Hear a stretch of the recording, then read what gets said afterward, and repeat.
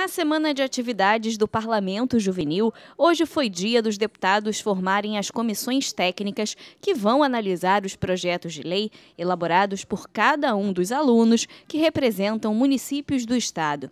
Olhares atentos para mais um dia de aprendizado sobre o funcionamento da Assembleia Legislativa.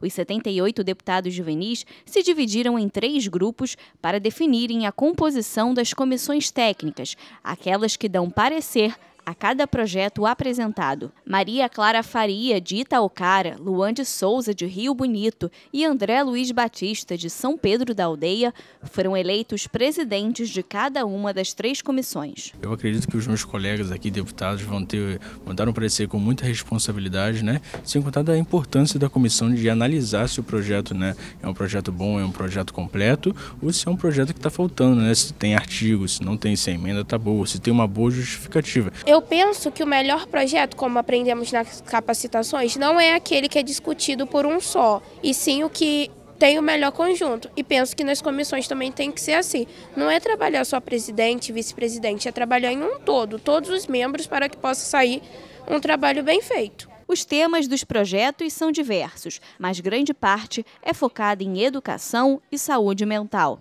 Maria Eduarda de Saquarema deu parecer favorável ao projeto que pretende orientar alunos sobre o processo de ingresso nas universidades do Estado. Muitos alunos não recebem a informação de como que entram em universidades públicas ou privadas. Muitos não sabem que existem vestibulares como o da UERJ. E muitos não sabem como se inscrevem para a Enem e que existe taxa de isenção para nós, que estudamos em colégio público e tem baixa renda.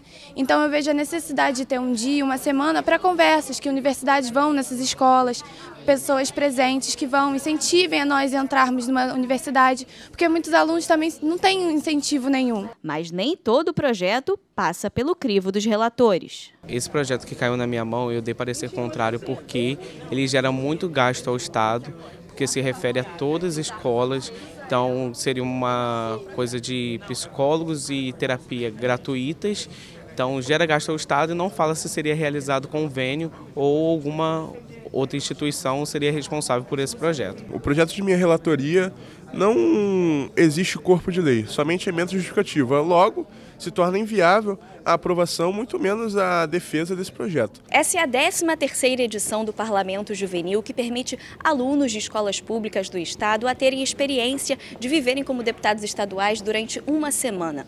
Dos projetos que estão sendo analisados e discutidos no dia de hoje, três serão aprovados e encaminhados direto para o governador e terão a chance de serem sancionados e usufruídos pela população.